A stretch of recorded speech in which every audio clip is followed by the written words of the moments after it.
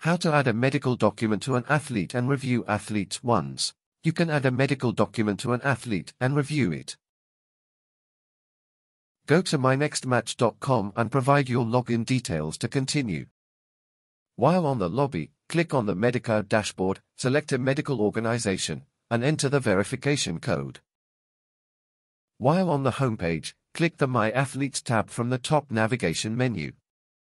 Organization and tournament athletes are listed here. You can find the athlete using the search, or you can sort by filtering.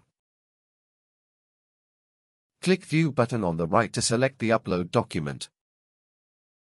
On this page, click the Documents tab and click Upload Document.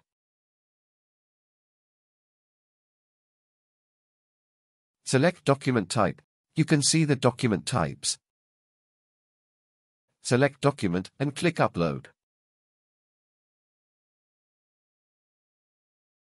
After uploading the document, you can click View Document button to see details. If you think there is an error in the document, you can use the Delete button.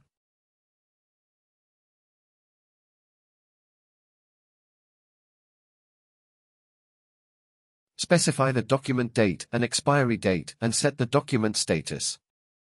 As the last step, click the Submit button to complete.